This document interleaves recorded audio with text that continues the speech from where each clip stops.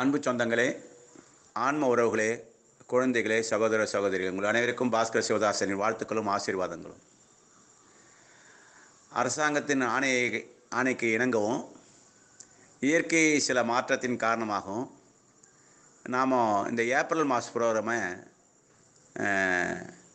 தொடர முடியாமல் நிலையில் இருக்கேன். அதனால் அன்பு சொந்தங்களான அனைவரும் என்னை மன்னிக்கணும். அடுத்து இந்த ஏப்ரல் மாதத்தில் வர ப்ரோக்ராமில் திருச்சி மணப்பாறை கும்பகோணம் இதெல்லாம் போட்டிருந்தோம். இந்த ப்ரோக்ராம் மீண்டும் மேன் மீண்டும் ஒரு மாதத்தில் அதெல்லாம் நாம் மீண்டும் பின்பற்றுவோம் நடத்துவோம். அது வரைக்கும் நீங்கள் பொறுமையாக கொஞ்சம் உடம்பையும் மனதையும் ஆரோக்கியமாக வச்சுக்கோங்க. அரசாங்கம் சொல்கிறத கேட்டு நடங்க.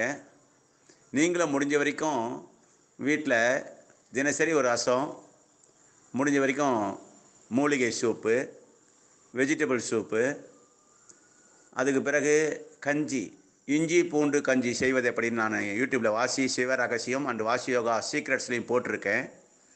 இதையெல்லாம் ஃபாலோ பண்ணி நோய் எதிர்ப்பு தன்மையை உண்டாக்கி உடம்பு ஆரோக்கியமாக வச்சுக்கோங்க. எந்த நோயும் நம்ம தாக்காமல் பாதுகாப்பாக இருப்போம். நம்மை சுற்றி உள்ளவர்களும் பாதுகாப்பாக இருக்க வலியுறுத்துவோம்.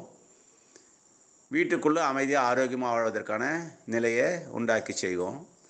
நாம் மீண்டும் வாசி யோகா வகுப்பு எங்கெங்கே நடக்குதுன்றத உங்களுக்கு தகவலை வாசி சிவ ரகசியத்தில் போடுவோம். தெரிஞ்சுக்குங்க. அனைவருக்கும் வாழ்த்துக்கள். நாம் விரைவில் மீண்டும் சந்திப்போம்.